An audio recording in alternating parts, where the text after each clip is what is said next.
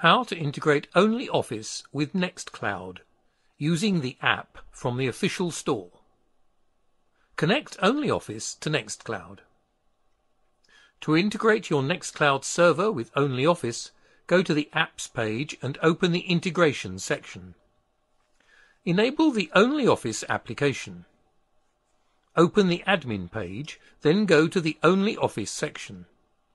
Copy the address of your document server installed on a different machine. Paste it into this field. If you want to restrict the access to your document server, specify a secret key. On the machine where document server is installed, enter the document server docker container. Open the default.json file. Find the Services, Co-authoring, Secret, Inbox section. Specify the same secret key. Enable the token validation and save the changes. Restart all services. Save the settings in your Nextcloud. Edit documents within Nextcloud using OnlyOffice. Return to the Files section.